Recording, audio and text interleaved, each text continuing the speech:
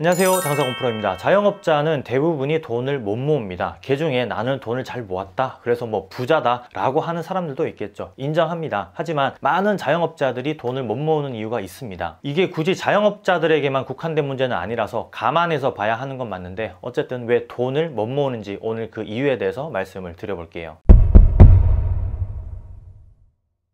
첫 번째는 일정하지 않은 수입 때문인데요. 자영업을 하는 대부분의 사람들은 하루에 한 번씩 꼬박꼬박 돈이 들어옵니다. 카드사에서 뭐 들어오기도 하고 현금으로 내 손에 직접 이렇게 쥐어지기도 합니다. 이게 어떤 걸 의미하냐면 수중에 돈이 들어오다 보니까 온전히 다 내 돈처럼 느껴져요. 그래서 쓰고 싶어지거든요. 좀 좋은 거 먹고 싶고 옷도 하나 고급 브랜드로 사고 싶어지는 거죠. 왜? 당장에 돈이 있으니까요. 너무 원시적인 생각 아니냐 할 수 있는데 지갑이 빵빵하면 마음도 빵빵하듯 똑같은 원리인 거예요. 조금 양보해서 카드사로부터 들어오는 돈은 그렇다 치더라도 현금으로 나에게 주어진 돈은 벌써 이미 쓰고 없습니다. 오늘 조금 현금이 많이 들어왔다 싶으면 마감 끝나고 이 술 안주부터 바뀌어요. 굉장히 고급지게 말이죠. 뭐 순댓국에 소주 한 병이면 끝날 걸 고기를 구워 먹고 심하면 뭐 노래방까지 특급 한우를 먹다든지 그런데 이런 돈들이 다 내 돈이 아니라는 게 중요해요. 재료비며 뭐 인건비며 월세며 공과금은 하나도 빠지지 않은 돈이라는 거죠. 100만 원 들어왔으면 20만 원, 25만 원만 내 돈인데 이 100만 원이 다 내 돈처럼 느껴지는 거예요. 이게 초보 창업자들에게는 더더욱 심하게 나타나는 현상이에요. 창업하고 하루도 안 빼놓고 술을 마신 20대 구독자분이 계셨어요. 프랜차이즈 맥주 전문점을 하시는 분인데 그분이 하루도 안 빠지고 한 달 내내 본인이 친구들한테 술을 다 샀다고 하더라고요. 하루 꼬박꼬박 100만 원씩 매출이 나와서 너무 기분이 좋았다고 하면서 매일 그렇게 술을 샀다고 했는데 지금은 가게 내놓고 가게에 앉아서 매일 술을 마시고 있어요. 장사도 안 되고 뭐 계약 기간은 남아 있고 진퇴양난인 셈이죠. 매일 술 마시고 늦게 일어나고 뭐 가게 돌볼 겨를도 없었겠죠. 오픈빨 빠지고 여유 자금이라도 조금 있어야 가게 유지를 시키는데 그마저도 없었으니까 지금은 친구들한테 매일매일 술 산 걸 후회하더라고요. 하루에 몇십만 원씩 계속 써댔으니까요. 유행하는 신발이며 뭐 패딩 점퍼며 이런 거 마구 산 거는 거의 뭐 덤이겠죠. 현금은 그날 그날 바로 입금시키고 일일 적금. 제가 이 영상에서도 짧게 말씀드린 적이 있는데 한번 참고해 보시면 도움이 돼요. 이자 낮은 걸 핑계 대지 마시고 하루에 단돈 5만 원이라도 적금을 들어보세요. 아니면 단돈 만 원이라도 말이죠. 한 달에 목돈 150만 원을 한 번에 적금하는 건 힘들어도 하루에 5만 원, 만 원, 뭐 그리 어렵지 않거든요. 늘상 이야기 하잖아요. 에이 술 한 잔 안 마셨다 치지 뭐라고 말이에요.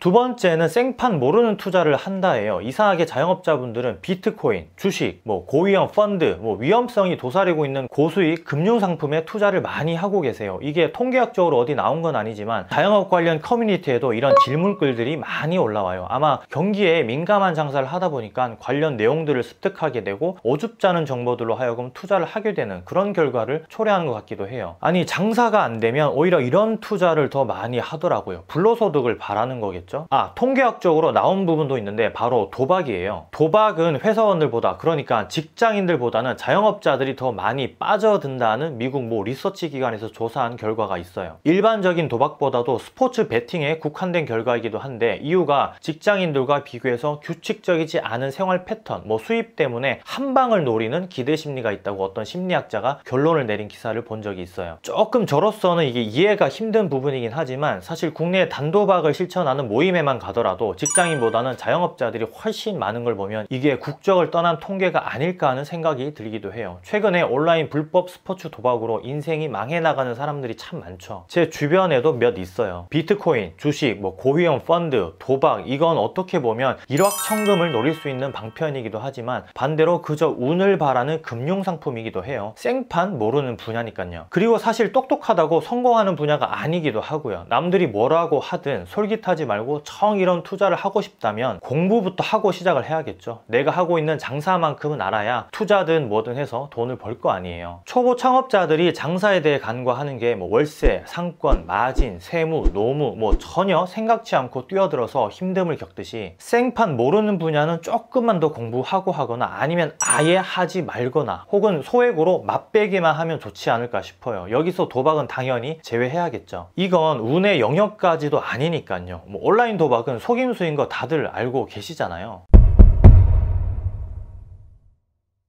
세 번째는 엉뚱한 사람에게 조언을 받는다인데요. 글쎄요, 주변에 사람들이 많아서일까요? 아니면 진짜 전문가들이 포진되어 있어서 조언을 받지만 운이 나빠서 제대로 된 조언을 받지 못하는 걸까요? 이건 제 개인적인 견해이기도 한데 자영업자분들 중에는 유독 자존심도 강하고 모든 걸 다 잘 알고 있고 또 본인이 하라는 대로만 하면 일이 술술 풀린다고 강요하는 사람이 있어요. 이건 비단 자영업자뿐만 아니라 우리 주변에도 한두 명쯤은 있죠. 그런데 이런 분들이 워낙 입김이 세 세기도 하고 강한 어조로 얘기를 하다 보면 진짜 그런가 하고 혹할 때가 있어요. 얼마 전에도 잠깐 대화를 나눈 어느 한 분이 대출 관련해 조언을 이미 받고 저에게까지 질문을 하셨는데 대출 이자가 5%대였어요. 그리고 투자 상품 수익률이 2%에서 7%대였고요. 그런데 투자를 진행하셨더라고요. 당연히 7%의 투자 이익률은 전혀 나오지 않고 2%, 3%대에만 머무는 결과를 초래하고 있어서 난감한 상황이었는데 옆집 사장님이 그렇게 조언을 해줬다고 하더라고요. 이미 빌린 1억은 10년 동안 갚으면 되니까 천천히 갚으라고 말이죠. 또 이런 돈 어디서 못 빌린다고 말이에요. 뭐 틀린 말은 아니지만 굳이 투자할 제대로 된 상품이나 내가 당장에 돈 쓸 곳이 없음에도 불구하고 그렇게 이야기를 했다는 게 참 저로서는 이해가 되질 않아요. 어쨌든 이 외에도 다양한 사례들이 많죠. 어줍지 않은 보험 설계사분들이 하는 말을 철석같이 믿는다거나 뭐 재무 컨설턴트 명함을 파고 다니는 경험이 전무한 새파란 20대 청년들이 권유하는 경우에는 필요하지도 않은 저축성 보험을 장기간 가입한다거나 또 카드 설계사인데 엉뚱하게 펀드 가입을 종용하고 뭐 왜 이때까지 이런 좋은 상품이 있는지 몰랐냐며 달콤한 말을 쉴 새 없이 내뱉는 사람들이 정말 많죠. 이게 진짜로 진짜로 친한 지인이라면 어쩔 수 없는 부분도 있겠지만 소개를 받거나 누군가에게 권유에 의해서 이야기를 듣게 된다면 정보성 미팅으로 끝내시는 게 제일 좋아요. 그분이 가진 정보를 들어보고 판단할 시간을 가지라는 거죠. 그 자리에서 나온 정보가 다가 아니기 때문에 꼭 그렇게 하셔야 된다는 거예요.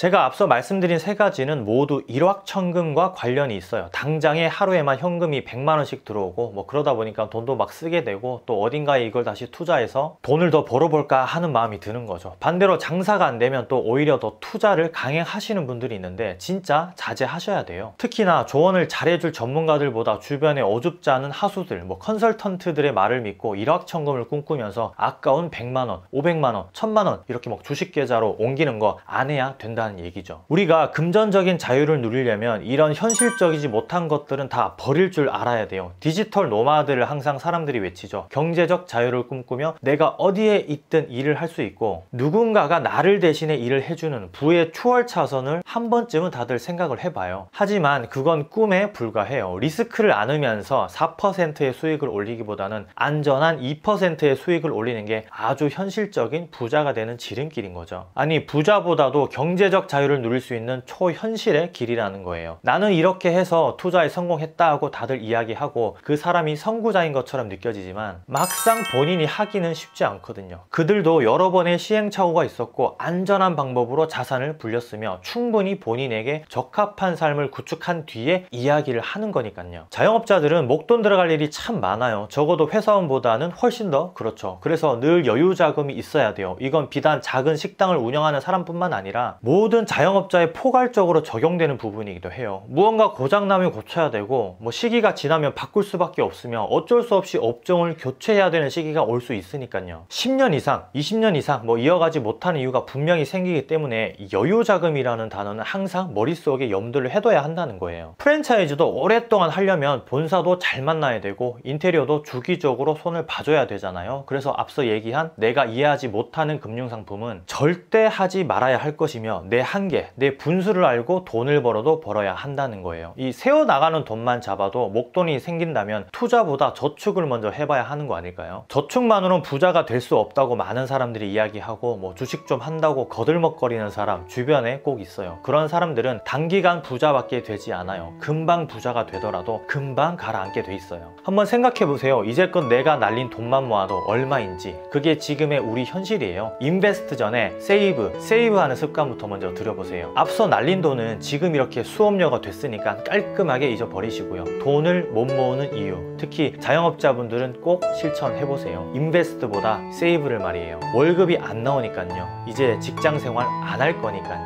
이상 곰프로였습니다. 들어갈게요. 감사합니다